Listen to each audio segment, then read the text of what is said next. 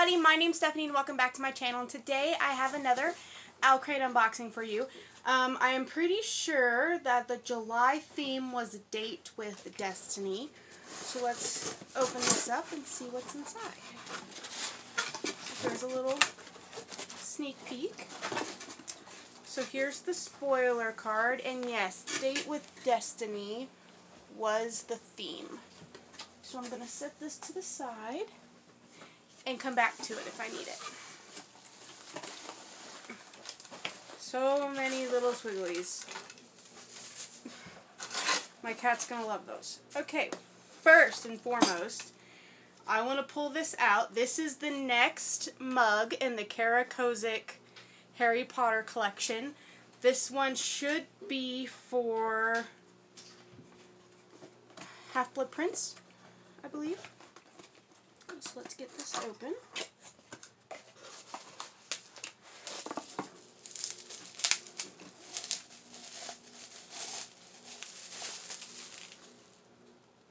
Oh, I love that. There's Fawkes on it.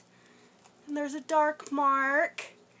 Harry and Dumbledore with the Pensieve. And there's Harry and Potions.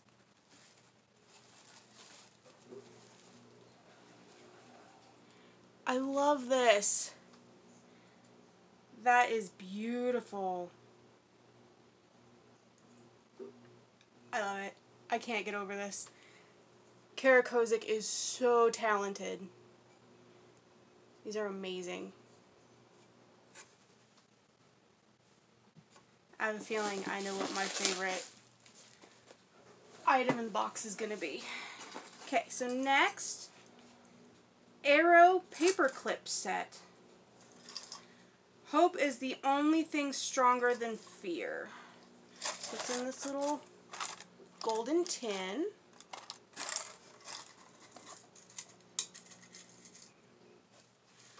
And here's the paper clips. That's cool. I homeschool my kids and I need paper clips to hold things together and now I don't have to buy anything. So, so that's great. I'm liking some of the useful items that they're putting in the boxes. I'm not sure what the quote is from off the top of my head, but we'll find out in a little bit. Next, I have this little pouch. I like the pouch. It's really pretty. My kids are probably going to steal it. Oh, and the tag. Looks like the tag came off. Foxway diner apron.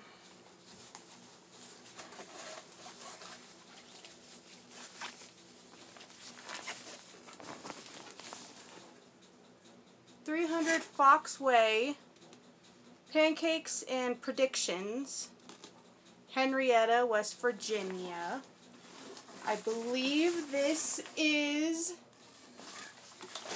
from Raven Cycle, and I love the Raven Cycle. So fate is a very weighty word to throw around before breakfast.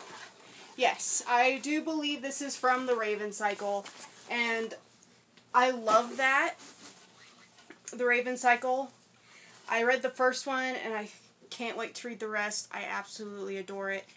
Um, I'm not sure if I would wear the apron, though. I don't really wear aprons, but I might be able to find a use for it.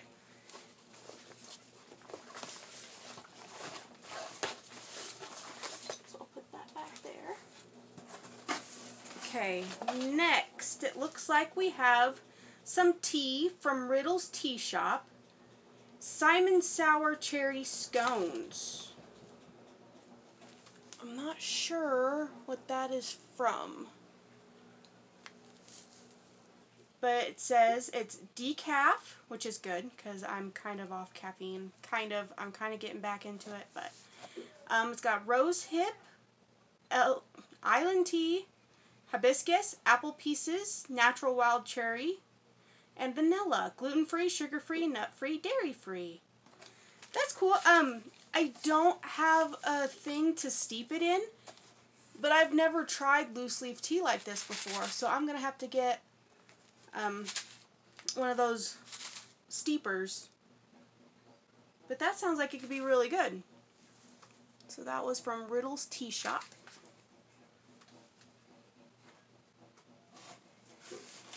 Okay. Now I think we're down to the pin. That's pretty. It says decide your fate. And the pin is always based on the book that's in the box. So that's pretty. Then that's going to go right up there with the rest of my pins. Oh, I missed a bookmark. Oh, I love this, and I'm going to have to keep it away from my daughter. Um, on this side, it's got Rey. On the other side, it's got Kylo. I absolutely adore this. I love Star Wars. My daughter loves Star Wars. They all love Rey.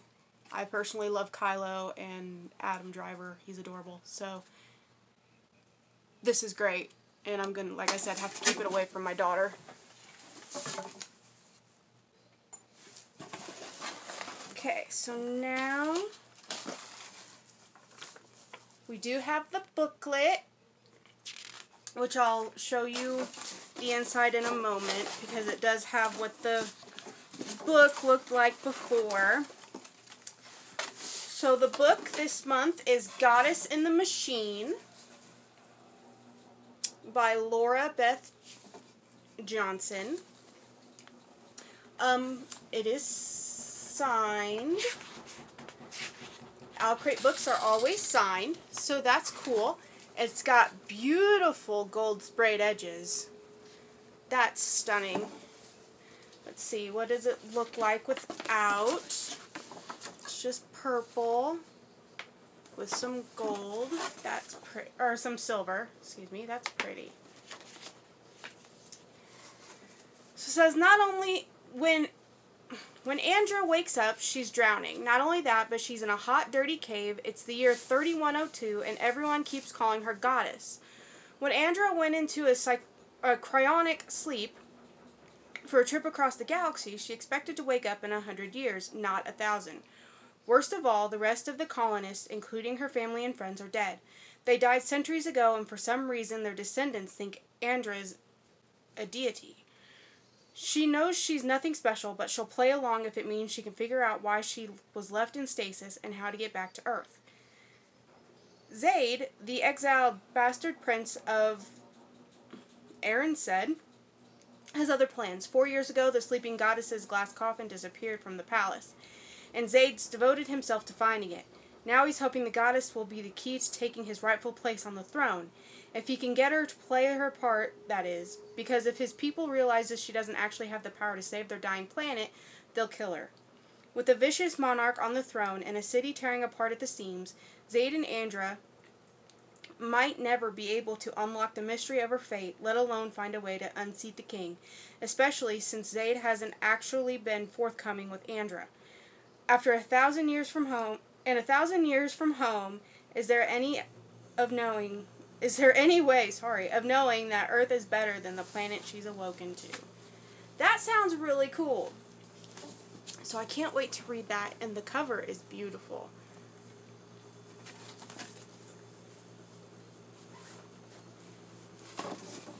And it com- it also comes with an author letter that I like to keep in my books. So I'll put that in there. Now the little pamphlet, it has interview with the author. It has the OwlCrate cover versus the regular cover. It looks like the OwlCrate cover is more bold in the orange, and I do like that. It's got a fun little word search. It has books if you enjoyed um, Goddess in the Machine. Has a vendor interview. It's got the photo challenge information, and it also includes um, a playlist that's inspired by the theme. And this one looks like it's inspired by the Raven Cycle. And it has some other releases from this month. So, The Ghosts of Woodsong, Cinderella's Dead, Splinters of Scarlet, Burn Our Bodies Down, and Evercursed. Those actually all sound really great.